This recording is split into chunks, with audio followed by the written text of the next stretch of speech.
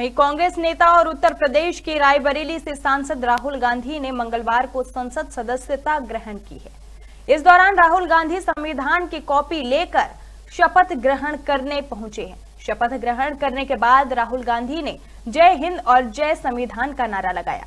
शपथ ग्रहण करने के बाद जब राहुल गांधी साइन करने जा रहे थे, तब सदन में मौजूद भारतीय जनता पार्टी के सांसदों ने जय श्री राम के नारे लगाए।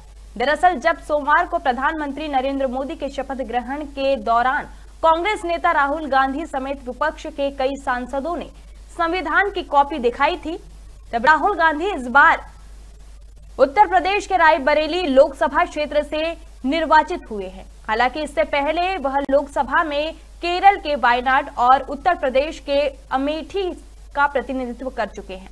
शपथ के लिए जब राहुल गांधी का नाम पुकारा गया तो कांग्रेस के सदस्य अपने स्थान पर खड़े हो गए और जोड़ो जोड़ो, भारत जोड़ो के नारे लगाने लगे।